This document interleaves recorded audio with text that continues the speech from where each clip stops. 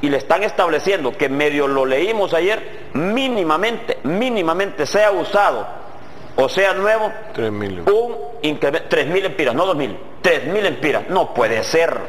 A última hora, por ejemplo, este tema del artículo 19, no lo habíamos visto por ningún lado en ningún proyecto. Eso ingresó no sé a qué hora y qué día. Y lo digo con de manera respetuosa, Tito, porque nosotros somos diputados que estamos atentos, porque tenemos una responsabilidad histórica y queremos hacer bien nuestro trabajo. Estamos atentos. Este artículo 19 no sé cuándo apareció en proyecto y en qué proyecto.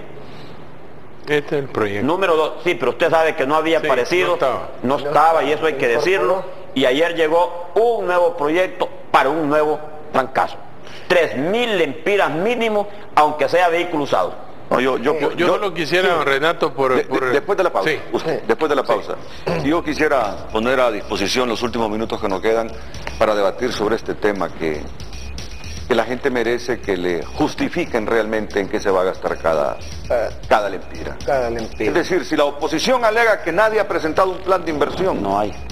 yo creo que lo lógico es obligar al ministro de Seguridad, al de Defensa, a la Fiscalía, que presenten un plan de inversión. Se- ¿Para qué van a utilizar Ya. cada centavo? Y ahora cuando nos dicen que nos van a grabar los vehículos mínimamente usados, los vehículos nuevos, con mayor razón creo que los hondureños debemos exigir transparencia y un plan de inversión, porque en los últimos años se han incrementado los presupuestos para defensa y seguridad. E indistintamente de que estén bien armados los narcotraficantes, no es coherente el incremento con los resultados en la lucha contra la delincuencia. Yo creo que en ese sentido la oposición tiene toda la razón, o el comisionado, o cualquier sector en esta democracia, de exigir que no solo es recaudar, sin antes no nos dicen en qué van a invertir cada lempirita.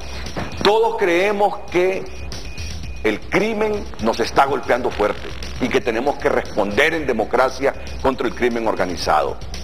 Todos coincidimos en esa premisa, pero también la transparencia en este asunto es fundamental.